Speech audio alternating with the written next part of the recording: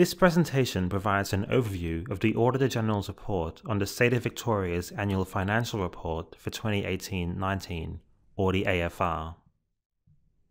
The report provides Parliament with information about matters arising from our financial audit of the 2018-19 AFR and our assessment of the financial sustainability of the state at 30 June 2019.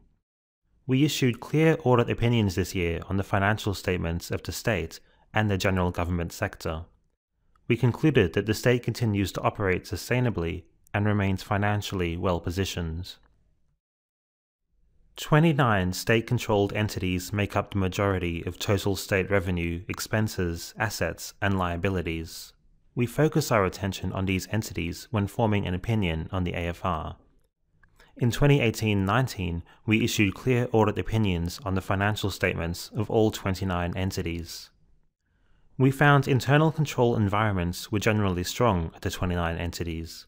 However, we continue to identify IT deficiencies, particularly in the areas of access management and IT security. In our report, we comment on three significant transactions we reviewed in 2018-19 to ensure they were appropriately accounted for and disclosed in the AFR.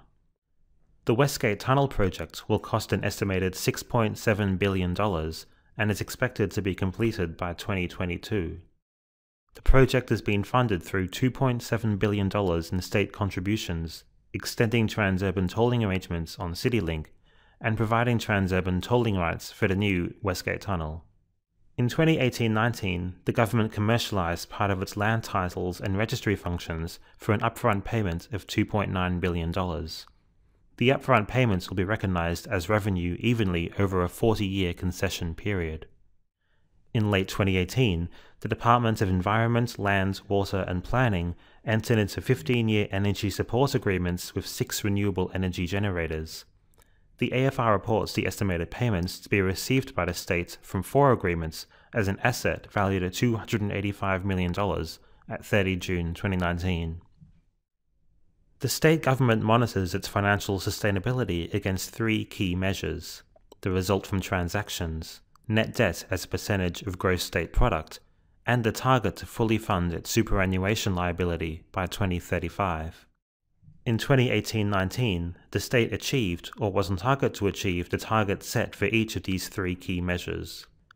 Despite a declining position in 2018-19, the state continues to operate sustainably and remains financially well positioned.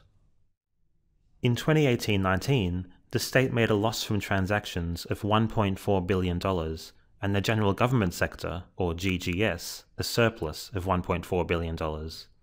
Despite a poorer result this year compared to last, the state and the GGS, on average, have been generating a net surplus from transactions per year over the long term. The government assesses how manageable the state's debt is by comparing net debt to the state's economy indicated by Gross State Product, or GSP.